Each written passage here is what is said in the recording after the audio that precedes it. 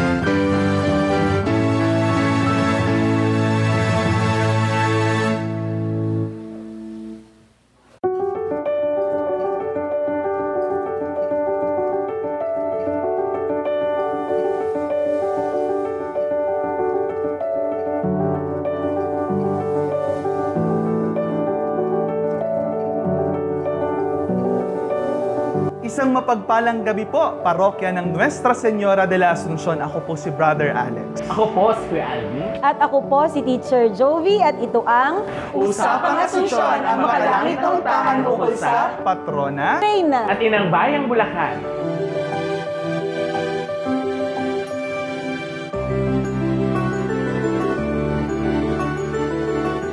Ayan, Brother Alex and Kuya Alvin, kamusta naman kayo ngayong araw na ito?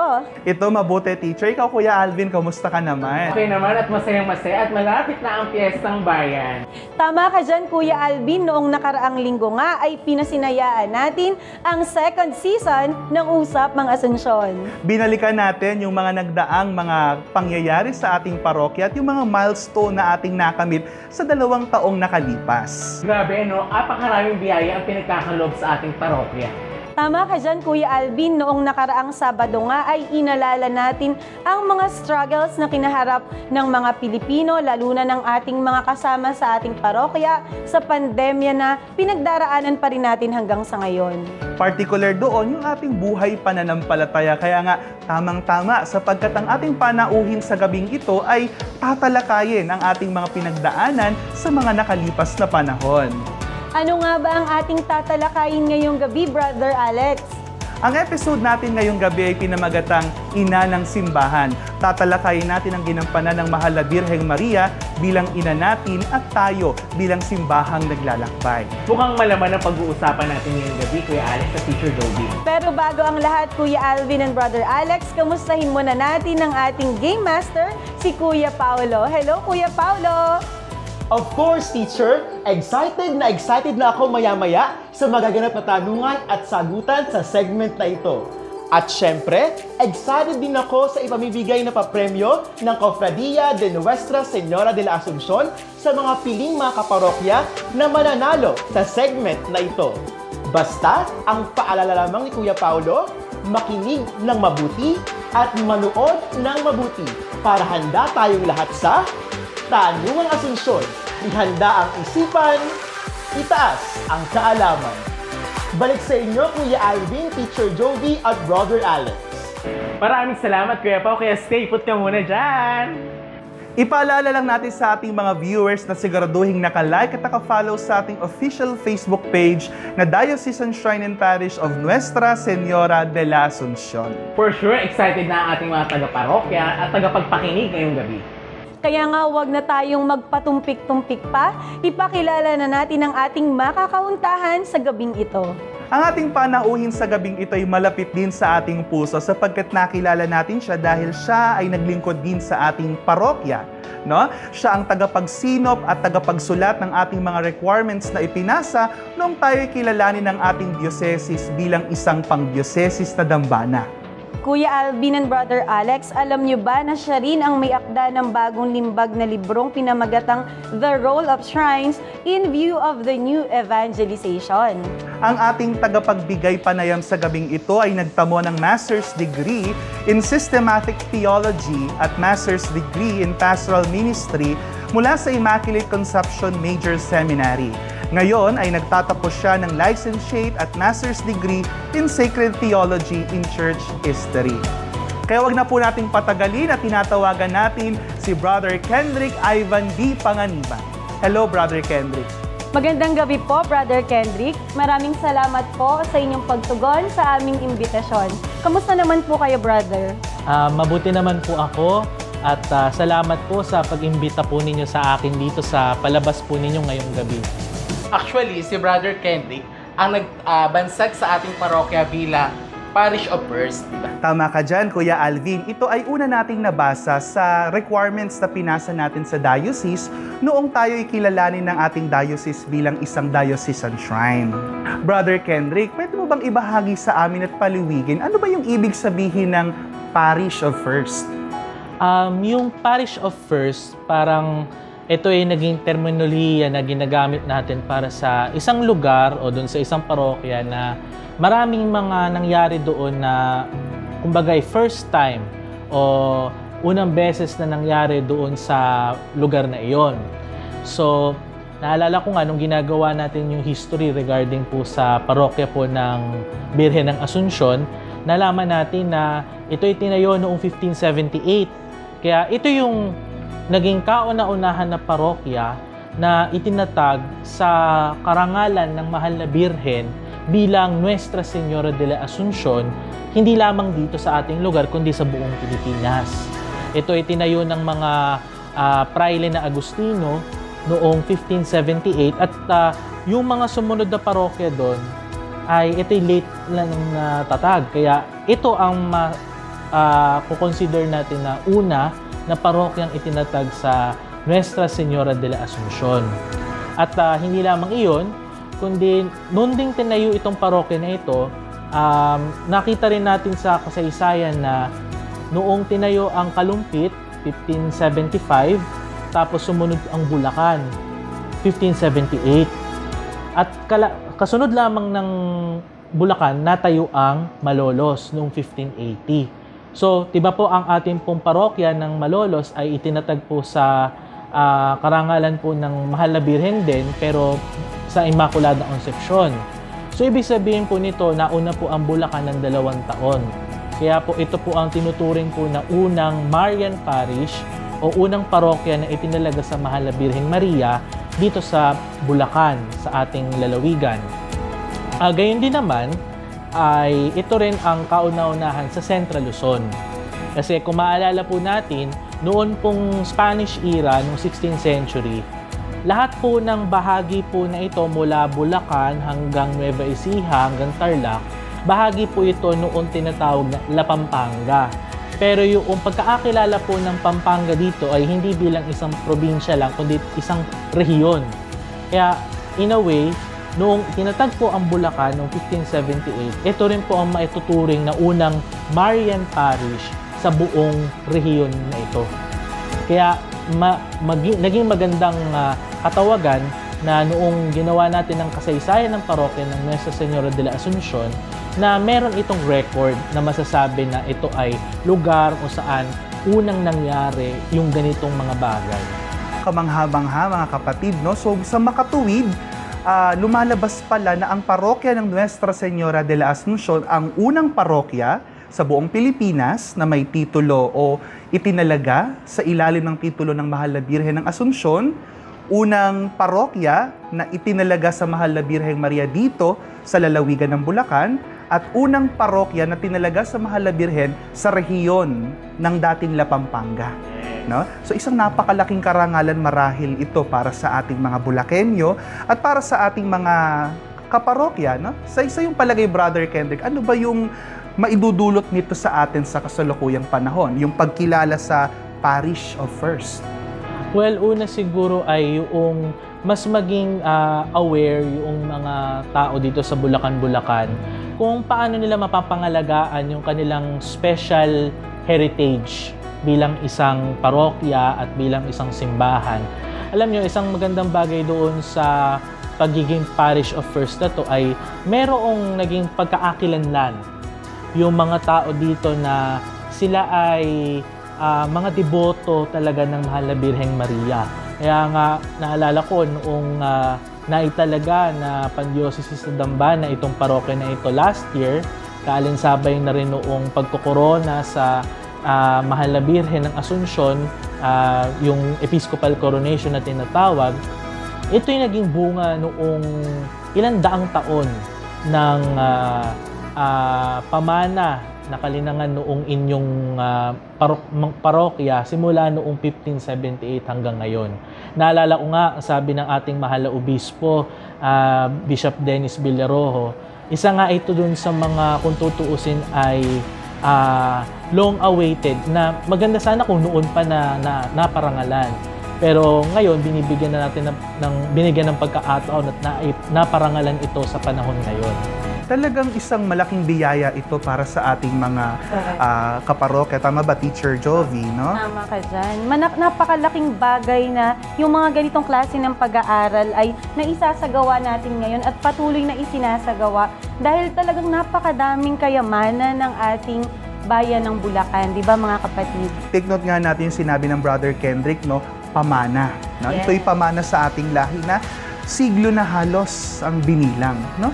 Ngayon, siguro malalaman natin at makikita natin yung kahalagahan nito sa pag-usad ng ating talakayan, di ba, bra, Kuya Alvin? Kaya brother, at tanong ko lang, bakit mahalaga na italaga ang isang bayan sa paggabay ng mahal na Bireng Maria, katulad na lamang sa dito sa Bulacan sa amin na pinangangalagaan kami ng mahal na Bireng Maria ng Nuestra Señora de la Asunción. Well, ang pagiging patrona ng Mahal na Birheng Maria sa isang bayan ay katulad din ng paggabay ng isang santo o kahit mismo ng ating Panginoong Kristo sa isang bayan.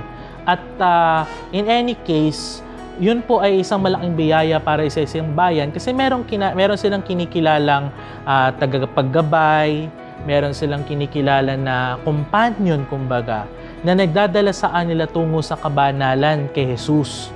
Kaya nga sabi ko kapag ah, isang bayan ay itinalaga sa isang santo, kung ito man ay sa Mahal na Birheng Maria o ito man ay kay San Clemente, kay San Pedro o kay sino man sa mga santo, yung pagkilala ng mga tao doon sa ah, santo na yon o sa Mahal na Birhen bilang kanilang gabay, bilang kanilang ah, um, protector or protectress, tagapagtanggol sa oras ng mga pangangailangan ay parang pagpapalalim ng pananampalataya ng mga tao na pag lumapit ako sa patron na ito, napapalapit din ang puso ko sa Diyos.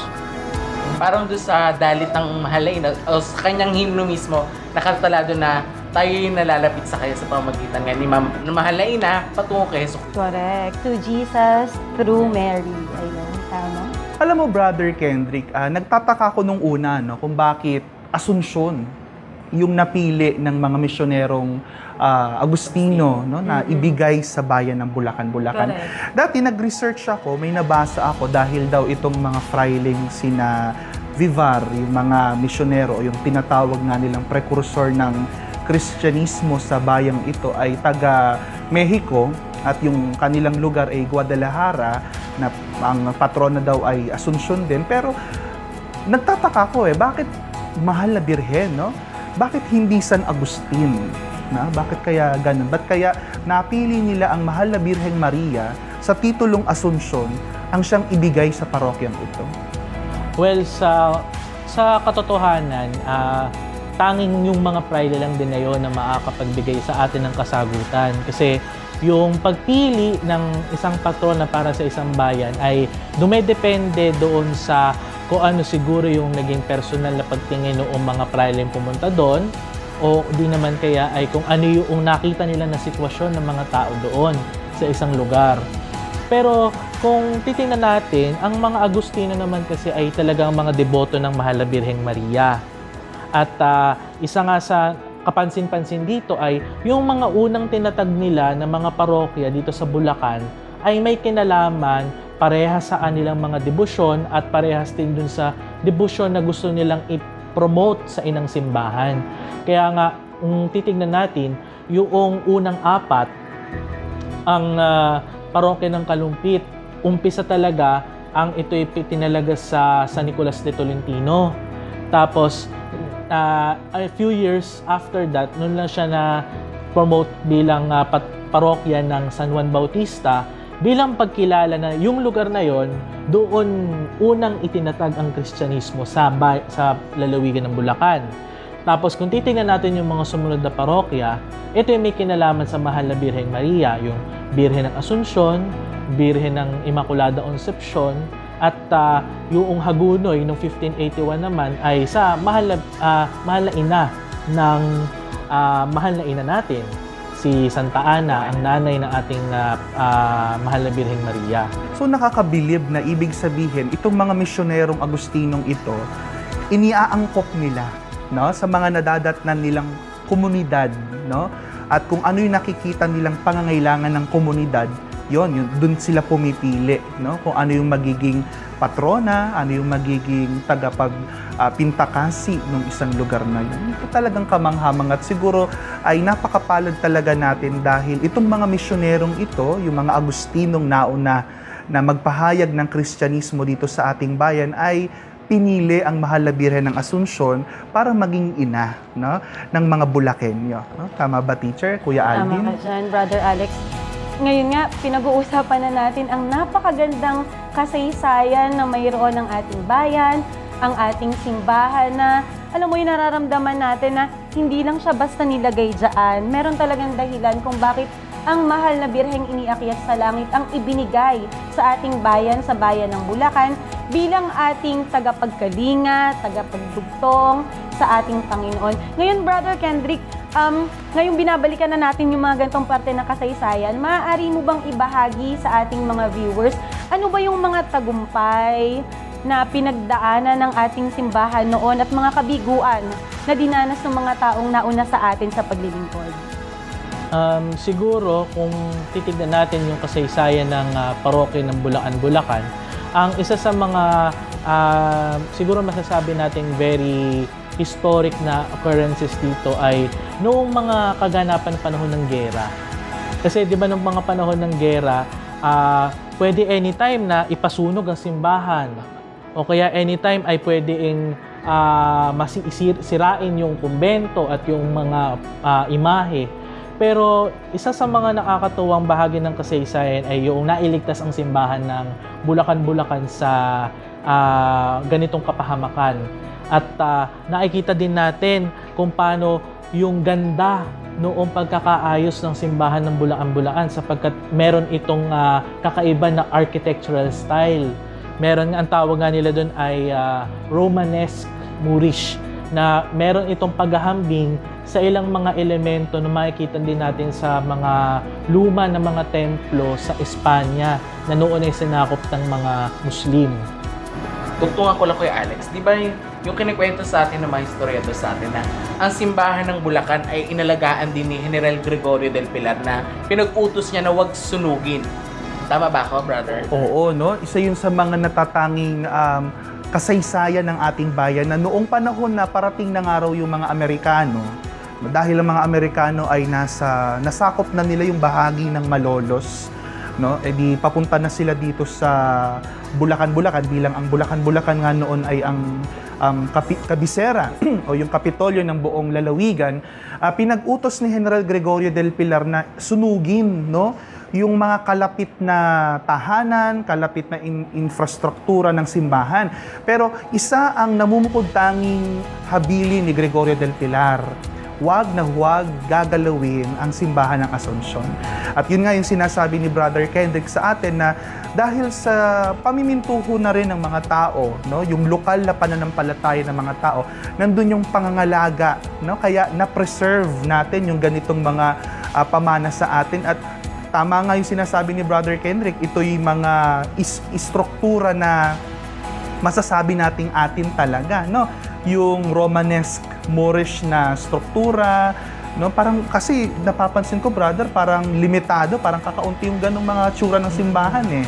At ah, kung di rin ako nagkakamali, ito din ang dahilan kung bakit ah, naparangalan din yung simbahan ng Bulacan upang maging isang ah, important cultural property.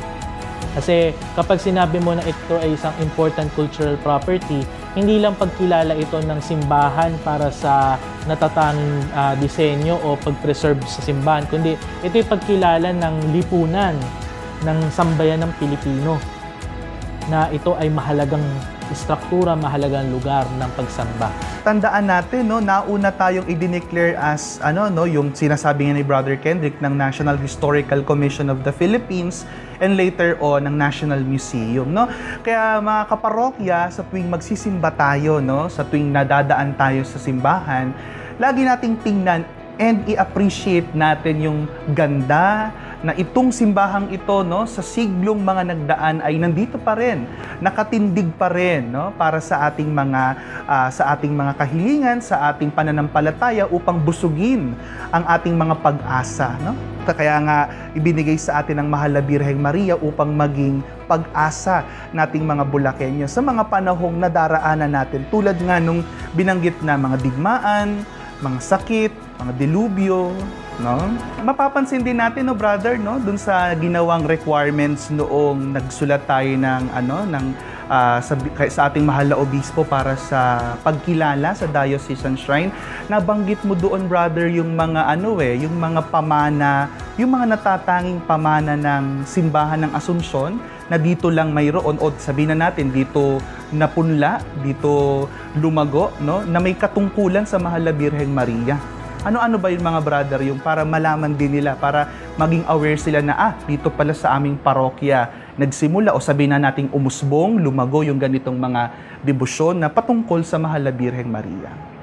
Ah, siguro ito yung may uugnay natin doon sa mga naging gawa ng mga pari na taga rito po sa bayan po ng Bulacan, Bulacan.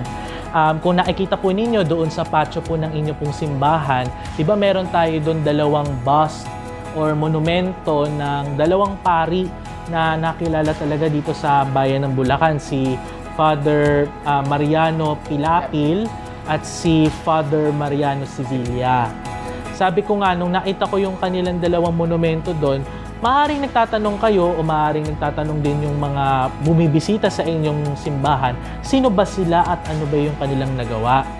Ang dalawang ah, mahalagang ah, kontribusyon na nabigay ng dalawang pari na ito ay may kinalaman din sa ah, debosyon ng mga tao, lalo tigit din sa Mahal na Birheng Maria. Si Father Mariano Pilapil, kung maaalala po natin, siya yung isa sa mga naging editor or patnugot noong isang ah, sikat na devotional book na ating ngayong ah, nakikita at naririnig kapag kinakanta ito during the Holy Week, yung Pasyong Mahal. Kaya nga 'di ba merong minsang version itong Pasyong Mahal na ang tawag natin eh Pasyong Pilapil. Sapagkat ito ay ah, version ng Pasyong Mahal na inedit na isinaayos ni Father Mariano Pilapil sapagkat si Father Mariano Pilapil ang isa sa mga una na ah, doktor ng sacred theology sa mga paring Pilipino. Alalahanin natin ito yung panahon na noon pa lang nagkakaroon ng ordinasyon sa Pilipinas ng mga Pilipinong pari, ng mga Tagalog na pari. Kaya siguro ito ay isa sa mga naging uh, natatanging kontribusyon niya. At Kaya ito may kinalaman sa mahal na birhen sapagkat doon sa pagkilala na yun, doon din mas nakilala ng mga tao yung pagdedebosyon sa ma Mater Dolorosa o yung ah, mahal na inang naghihinag peace. Diba? At ah, doon naman kay Father Mariano Sevilla na isa ding ah, kilala na nagtuturo sapagkat siya din ay Doctor of Sacred Theology din, isang ah, matalino at mahusay na pari. Ah, isa siya sa mga naging pioneer noong pagtatayo dito sa Pilipinas nung Flores de Mayo. 'Di ba? Alam natin yung tradisyon ng Flores de Mayo na kapag ah, buong buwan ng Mayo, nagkaaroon ng pag-aalay ng bulaklak sa paanan ng mahal na Birheng Maria at nagkakaroon ng mga kawang gawa sa bawat araw na iyon mula sa umpisa hanggang sa huli ng buwan ng Mayo. Kumbaga, ah, ating ikinokonsagra ang ating mga sarili sa pamimintuho natin sa mahal na Birheng Maria. At kaga- nakakatuwa nga na sa pagkakataong yon noong 1865, isa ito sa mga unang pagdiriwang ng Flores de Mayo dito sa ating bansang Pilipinas na pinangunahan ni Father Mariano Sevilla. Gumawa pa nga siya ng aklat, di ba naalala natin, ito eh naisulat naman after two years, noong 1867, yung tinatawag nating Flores de Maria o yung ah, ah, aklat na may ah, mga instruction na may kinalaman sa pag ah, pamimintuho sa mahal na birhen tuwing buwan ng Mayo. I-highlight ko lang, brother, balikan lang natin yung sa sinasabi mo kanina, yung kay Father Mariano Tilapil, no? Kasi yung iba sinasabi siya daw yung author ng Pasyong Mahal, pero binabanggit mo dito, editor. Yes, isa po yun sa mga um, research po na nakikita po recently kasi po alam po natin na kung po natin sa gawa po ng mga Jesuita, lalo na po ni Father Rene Havillana, SJ, na iba't iba po ang mga versions ng ah, Pasyong Mahal umusbong sa pagtagal ng panahon. Merong Aquino Belen version, merong ah, Pasyong Genesis, merong Pasyong Pilapil. Nataon po na ito pong kay Father Pilapil, ito po yung pinaka-latest na nagawa at ito po yung nabigyan po ng ah, kumbaga ay otoridad ng Arsobispo ng Maynila nung panahon na yon. Kaya po ito po ay mas lalong nakilala doon sa mga previous versions ng Pasyong Mahal. So, kaya ito yung mas naging parang famous na berso ng Pasyong Mahal. So, ibig sabihin, ang itong mga paring ito ay talagang bigatin, no? Kasi sila ang taga-edit at kikilalanin ng Arzobispo ng Maynila na nung mga panahong yun ay tiyak ay hindi naman Pilipino kundi Espanyol, no? So itong mga paring Bulakenyo, itong mga kababayan nating pari ay talagang may malaking naiambag, no, sa kasaysayan ng ating simbahan, dulot na rin ng kanilang debosyon at pagmamahal sa Panginoong Heso Kristo at sa mahal na Birheng Maria.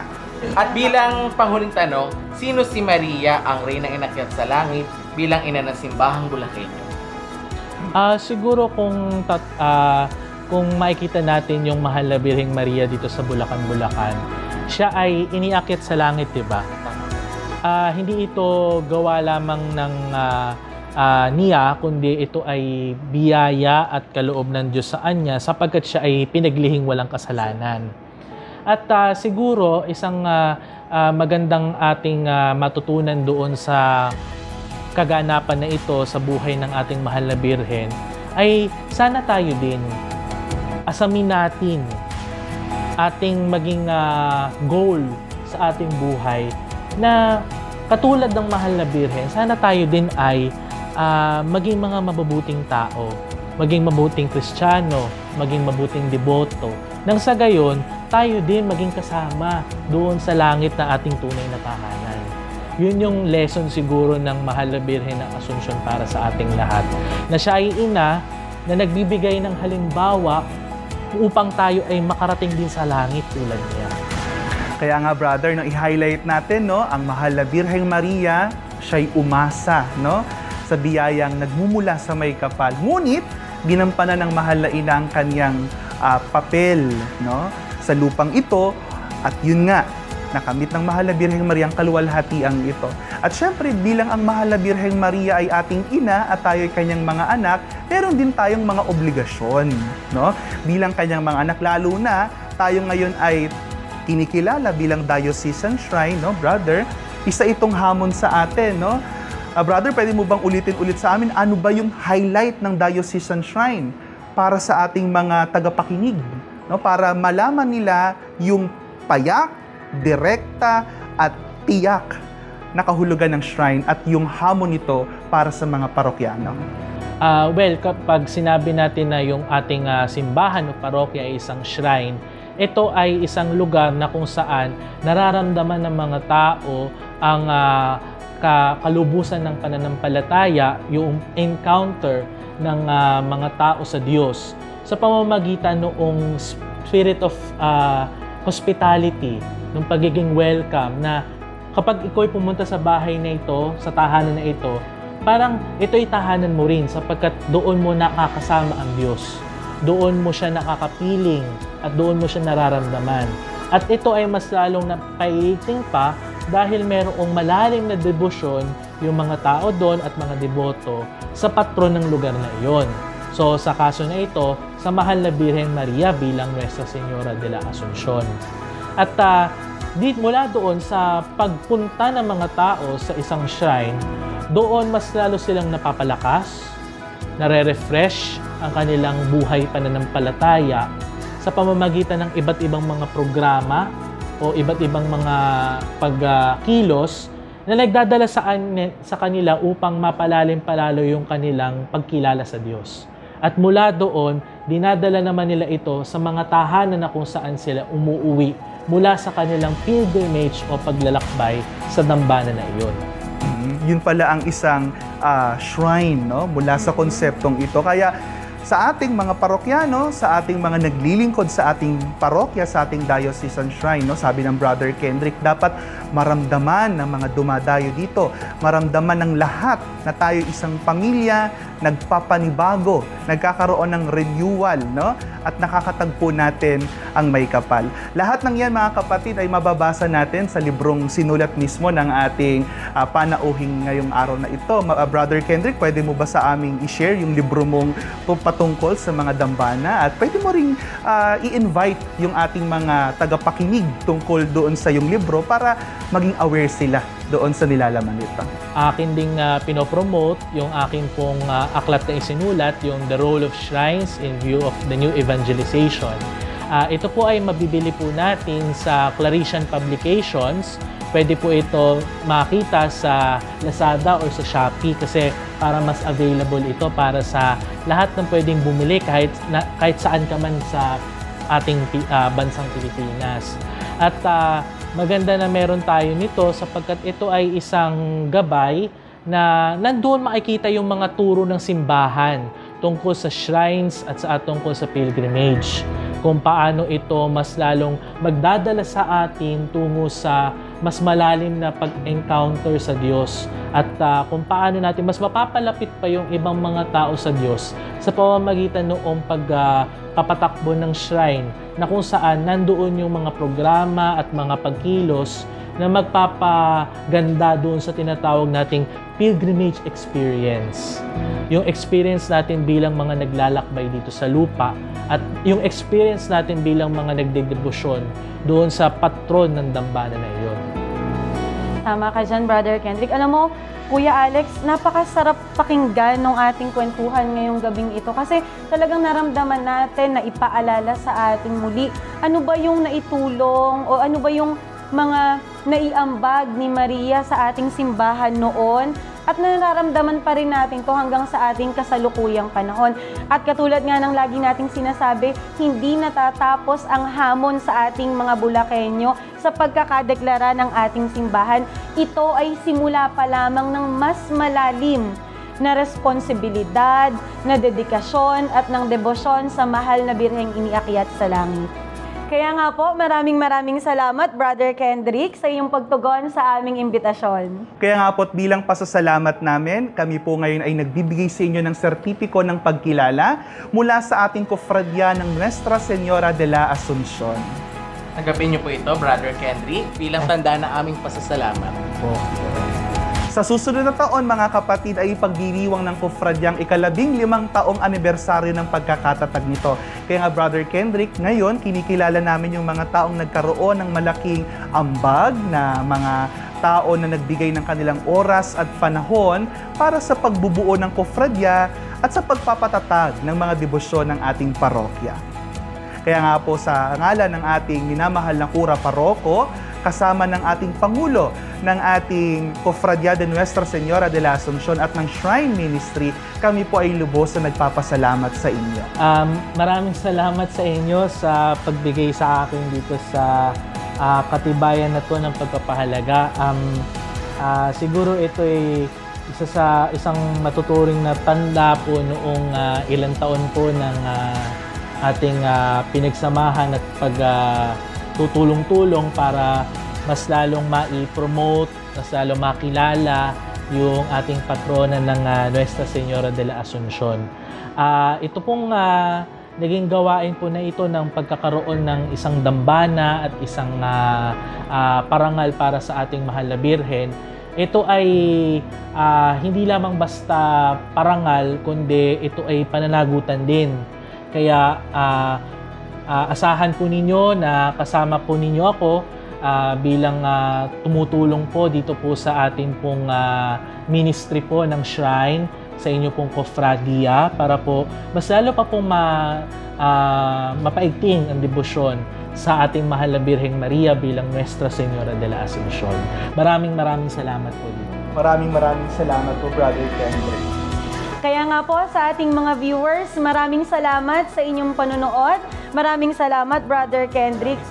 Talagang napaka siksik at liglig ng ating usapin ngayong gabi. Di ba, Brother Alex? Totoo yan, napaka nag-uumapaw na impormasyon no, at kaalaman na hatid sa atin ng ating panauhin ngayong araw na ito.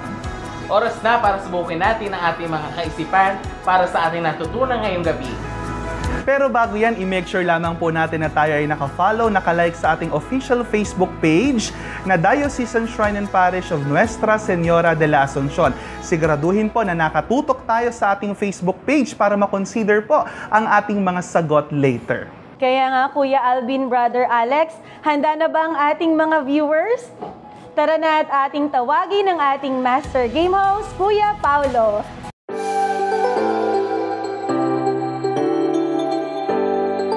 Maraming salamat, Brother Alex, Teacher Jovi, at Kuya Alvin. Muli po mga kaparokya, isang mapagpalang gabi po sa ating lahat. Ako po si Kuya Paolo at ito ang Tanungang Asunsyon. Ihanda ang isipan, itaas ang kaalaman. Muli po nating babanggitin ang mechanics sa ating Tanungang Asunsyon. Meron tayong tatlong katanungan kada episode at ang bawat katanungan ay may kalakip na apat na choices na ating ipa-flash sa ating screen. Basta lumabas ang choices sa ating screen, ay maaari nyo na pong i-comment ang inyong mga sagot. Ang una makapag-comment ng tamang sagot ay maaaring manalo ng iba't ibang Asunsyon souvenirs. Sundin lamang ang format ng sagot na letter, pinakamismong sagot at huwag kakalimutan ang hashtag Viva Asuncion 2021. For example, ang sagot ay letter A, Pintakasi. Ang dapat po nating isagot sa comment section ay letter A, Pintakasi bilang pinakamismong sagot at ang ating hashtag Viva Asuncion 2021. At huwag po natin kakalimutan mga kaparokya na wrong spelling is wrong. Alam kong excited na kayo sa mga katanungang aming inihanda ngayong gabi. Tara, simulan na natin. Unang katanungan. Ang ating parokya ay tinaguriang Parish of First sa tatlong dahilan. Batay sa mga ibibigay kong dahilan maya-maya, ano ang hindi kasama dito? Letter A. First Parish of Assumption. Letter B. First Marian Parish in the province. Letter C. First Marian Parish in the Region 3. At letter D. First Parish in the province. Ihanda ang isipan, itaas ang kaalaman. 5, 4, 3, 2, and 1. Tamang kasagutan ay letter D. First parish in the province dahil alam naman po natin na ang unang parokya sa ating lalawigan ay ang parokya ng Kalumpi. Congratulations po sa ating unang winner para sa ating unang katanungan. Antay na lamang po ang message mula sa ating Facebook page upang malaman kung paano makaklaim ang inyong papremyo. Para sa ating ikalawang katanungan, Sino ang paring Bulakenyo na editor ng isang kilalang version ng Pasyong Mahal na ginagamit natin tuwing mahal na araw? Letter A. Padre Mariano Sevilla. Letter B. Padre Mariano Vivar. Letter C. Padre Mariano de la Cruz. At letter D. Padre Mariano Pilapil. Ihanda ang isipan, itaas ang kaalaman. 5, 4, 3, 2, and 1. Ang tamang sagot ay letter D. Padre Mariano Pilapil. Congratulations po sa winner ng ating ikalawang katanungan. Mangyari lamang po na antayin muli ang message ng ating page upang malaman kung paano nyo po marireceive ang aming mga papremyo. Para sa ating ikatlong katanungan, sino ang Bulakenyong General na nag-utos na huwag sunugin ang parokyang Nuestra Señora de la Asunción noong digmaang Filipino-Amerikano? Letter A. Pio Valenzuela. Letter B. Gregorio del Pilar. Letter C. Antonio Luna. At letter D. Marcelo del Pilar. Ihanda isipan, itaas ang kaalaman. 5, 4, 3, 2, and 1. Ang tamang sagot po ay letter B. Gregorio del Pilar.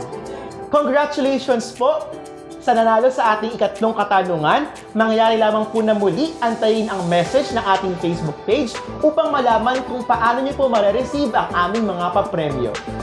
Ayan! Kompleto na ang ating winners sa episode na ito. Muli po, maraming maraming salamat po sa inyong pakikiisa sa segment na ito. Muli po, ako po si Kuya Paulo na nag-iiwan ng mga katagang walang saysay ang karunungan kung hindi gagamitin sa kabutihan. At ito ang Tanungang Asunsyon. Ihanda ang isipan, itaas ang kaalaman. Balik po sa inyo, Brother Alex, Teacher Jovi at Kuya Alvin.